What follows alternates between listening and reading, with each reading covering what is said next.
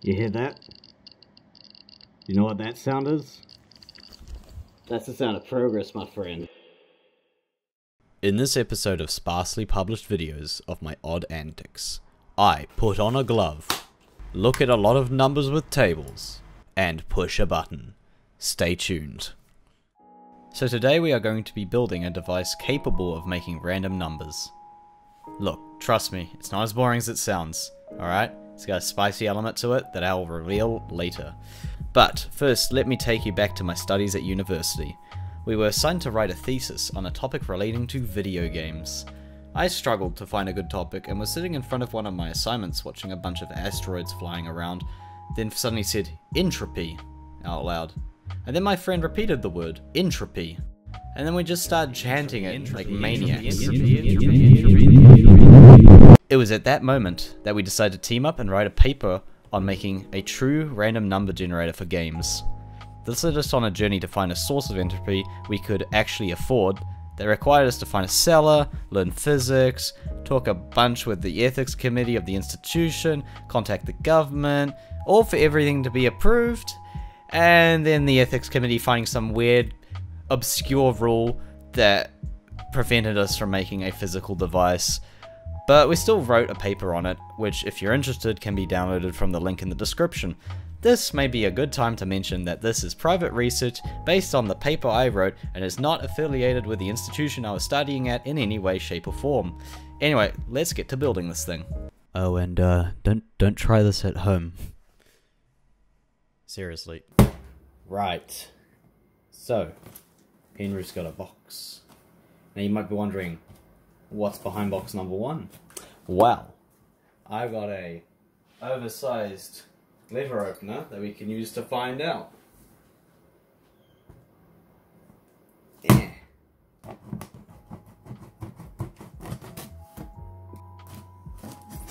Come on.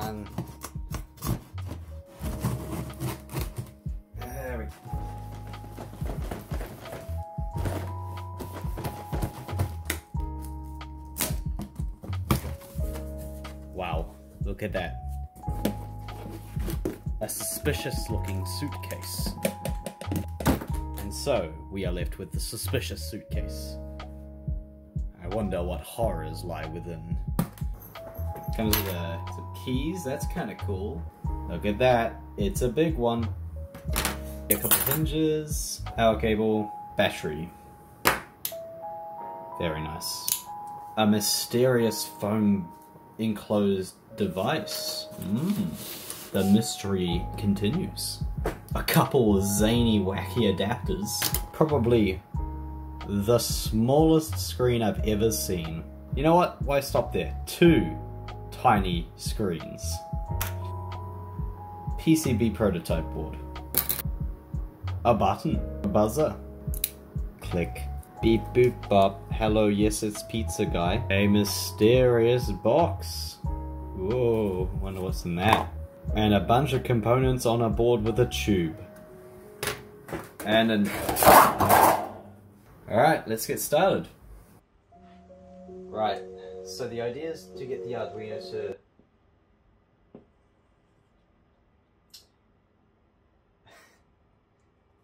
Great, the one thing I didn't buy for this video. My whiteboard markers are dry. Don't really want to go to the store though.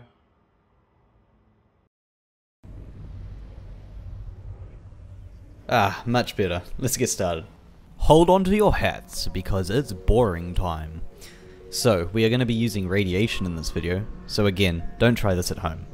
To give you a quick crash course, radioactive material radiates alpha and beta particles, as well as gamma rays. The more it radiates, the more radioactive it is, basically. Which brings us to Geiger tubes, a tube filled with a special gas and a thin wire that uses a chain reaction to detect radiation. To demonstrate how they work, let's use an example. Let's say you have an alpha particle and it hits a gas molecule inside the tube. That gas molecule gets charged, which hits another gas molecule. That hits another one and another one and another one, charging each one until it hits the wire, generating a current. By measuring the current, we can get a count value. Using this count value, we can then convert it to a measurement of radiation like SV per hour. Next up, computers. Computers do everything with ones and zeros. This system is known as binary and can be used to represent numbers. Each one or zero is a bit, and a group of four bits is called a byte. So for example, byte 1101 is equal to 13. The way it works is you just have to imagine that each number is in a column. Starting from 1 and going right, the next one would be 2, then 4, then 8, and so on and so forth. All you need to do to convert from binary to a number is add the column numbers that have a 1. So in this example, 8 plus 4 plus 1, which of course makes 13. So now it's time for the plan. We will take radiation and use a Geiger tube to measure the radiation. We then plug that into an Arduino that will then take this measurement and convert it into a number using binary. We will then, we want in large numbers, so probably like 31 bits, let's just say. Then we take this output, throw it at a computer, which then takes our input to a program that is running on the computer, and then this program will generate random numbers that we got from the radiation, which will do all sorts of things, like, uh, I don't know, picking lunch, let's say. So a cool side note here is that computers can't actually generate truly random numbers um, without help. Currently they need like real world input, uh, so like lava lamps or mouse movement or even quantum physics, uh, that exists. And since we are generating numbers from radiation, which uh, decay events aren't actually predictable in terms of when they will actually occur exactly, means that we are actually generating truly random numbers as well. so that's actually kind of cool. Anyway, that's the plan. Enough rambling. Let's go build something.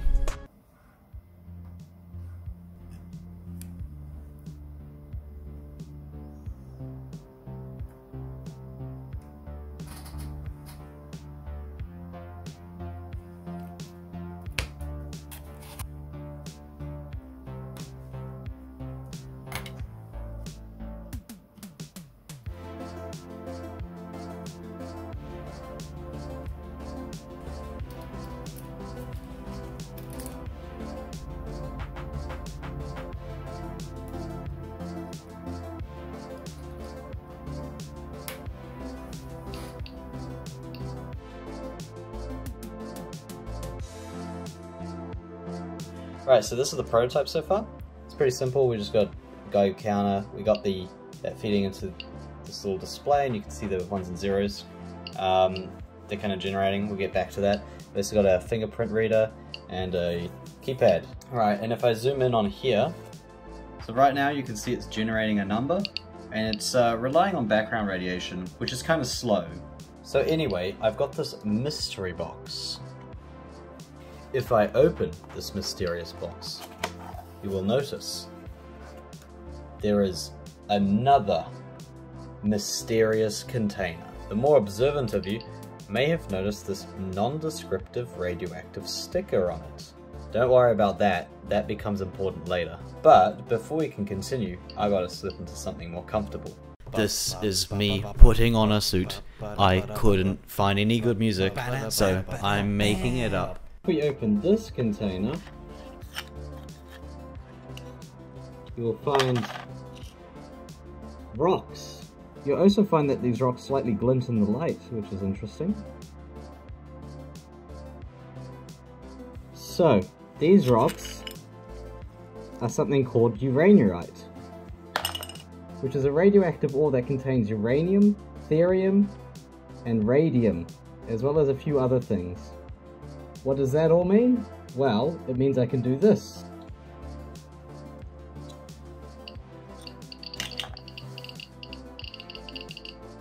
And now you see, ladies and gentlemen, we have solved the problem of having to wait for the radiation. Because now there's always radiation. Right, so this is a working prototype, so I'm going to package this back up. And we're going to continue building the prototype.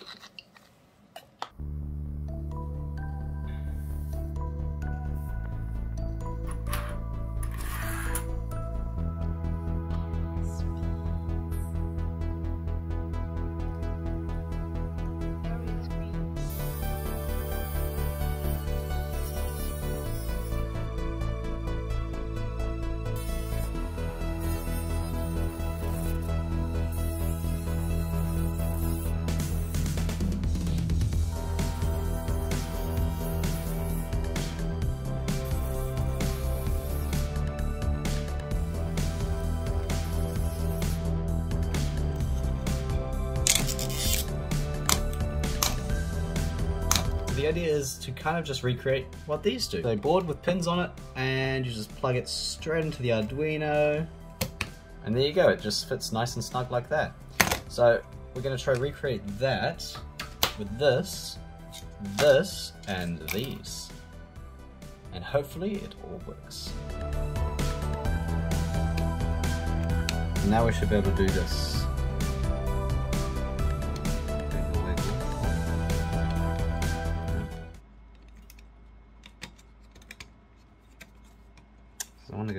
Side for some reason. Oh. Great. Amazing. The board doesn't fit this. It's so close yet it's so far. Like look at it, the, the front pins there are just fine, but then as soon as the gap's been made, it just doesn't connect. Let this be a lesson why you don't buy Chinese knockoffs, alright? They always miss something, and it's really annoying when they do. Fixed. And now you see, when I plug it in, it actually fits. See? Look at that. Right, some more disaster. I tried uh, soldering the board together. That wasn't strong enough. So then I tried using uh, super glue. Um, so that's fine. We're just gonna move on, alright?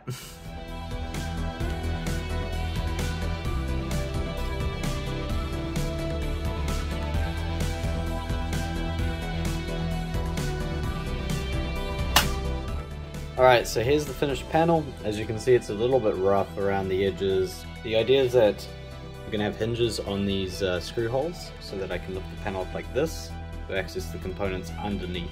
So we've got our hinges here. It's pretty neat. Now, it wouldn't be one of my videos unless something went wrong.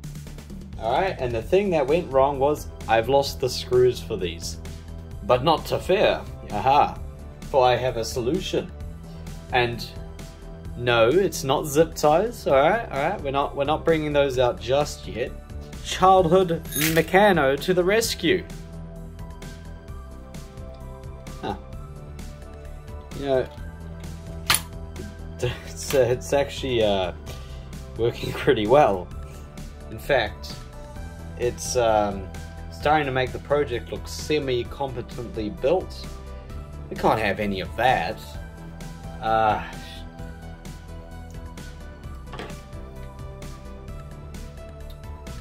time to bust out the pink hot glue gun.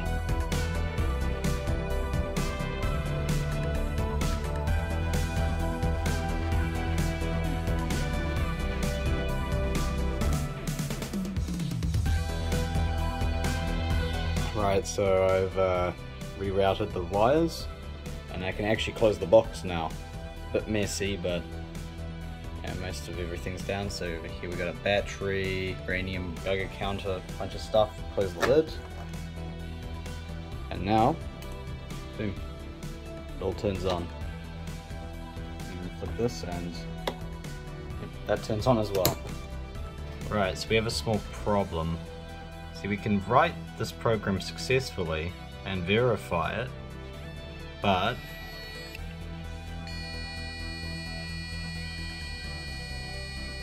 yeah. But if I get rid of all of this data just here.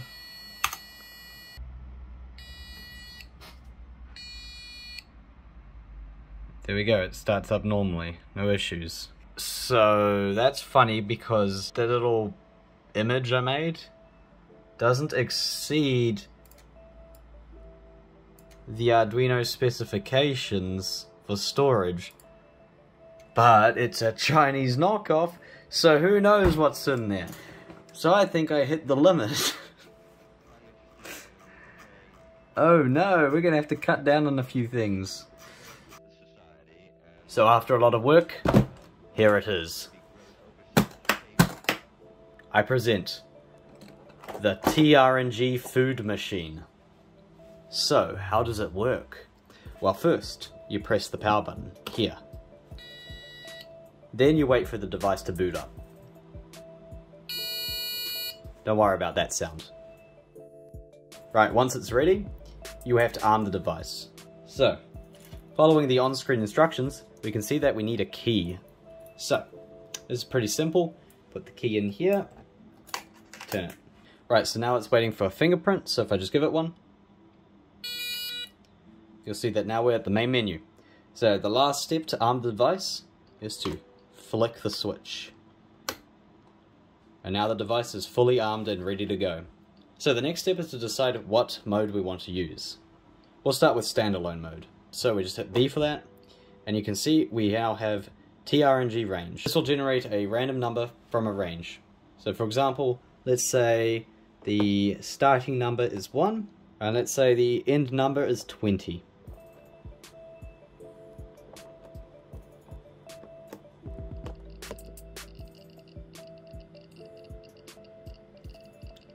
And now you'll see if we generate a new number, we have a d20. Every time I hit new number, as long as the uranium's generated some, which uh, it really is because it's gone past my uh, little analog animation thing here. yeah, bye-bye, needle. Um, you can see we get a new number between 0 and 20. Perfect for your D&D games. There is also another mode called serial mode, which then generates numbers for a computer to use. Welcome back. This is not the lockpicking lawyer, and today in front of us we have a cheap AliExpress lock I found. Now, normally I would unlock it using my key, like so. However, say I forgot my key and it went missing. Well, never fear, because with just a simple hairpin, you can actually unlock this lock just fine, as if you had the key. So, what we do is put the hairpin in, move it back like that, and turn. It's as simple as that, folks. Honestly, why can I open this with a fucking hairpin? oh. And let us not forget, if we want to lock it up, just do the exact same in reverse. Can't believe that works. Honestly. Oh. Right, it's the next day, and as you can see, we're generating numbers. It's uh, actually uh, generating them a little bit faster than I thought. Um, in fact, we've already got uh, 13 numbers in queue, um, and that number's just been ticking up. Anyway, so if we push this button, we can find out what we're having lunch. The Coffee Club, Pukekohe. Alright, guess we're going to the Coffee Club.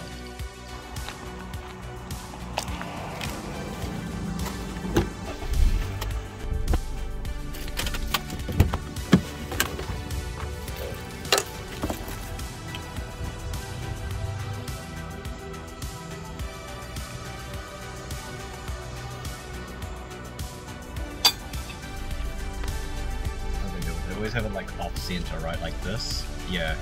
What's up, guys? Welcome to Henry's Food Reviews. Nah, that actually, uh, that the device worked. I mean, I didn't know we even had a coffee club in my area. Yeah, it was quite quite a good meal. Anyway, that's the end of the video. I hope you enjoyed. I'll see you later. Bye. The one on on the right. Yeah. What about this? Change that to a division or something. How am I going to change this to a division? I can't change that to a division. Well, you have a multiply symbol. Yeah. Maybe don't. Okay. And how am I going to do that? Go click on the star and delete it, and then write a slash. Why would that? That's not going to give me that tag. Bro. Okay. how am I- as, as, as, as you were saying,